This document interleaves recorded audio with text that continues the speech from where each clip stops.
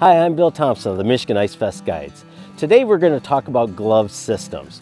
The Upper Peninsula is well known for its cold temperatures and it is the first thing that will shut a climber down if they don't have a good glove system. So the first part of our glove system is a belay glove and what we're going to use is a big thick glove that keeps your hands warm while you're belaying or hanging out.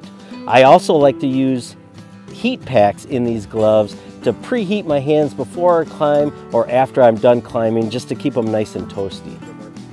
The second part of our glove system is a lighter weight glove. And what I like to do is pre-climb, put them underneath my armpit to warm them up so they're nice and toasty for when I start to uh, start my climb. So I take them out of my armpit, nice and warm, put them on, and what I'm looking for is a nice lightweight glove that has lots of dexterity and some grippy palms. The third part of our glove system is a second pair of lightweight gloves. The problem with climbing is your hands will start to sweat and they'll wet out these gloves.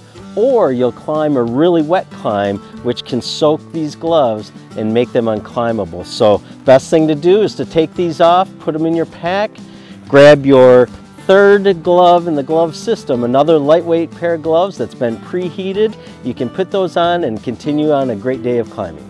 So remember, the key to a great climbing day is a good glove system. Big fat gloves for belaying, two pair of lightweight thin gloves for climbing, and you'll have a great day climbing at Pictured Rocks National Lakeshore.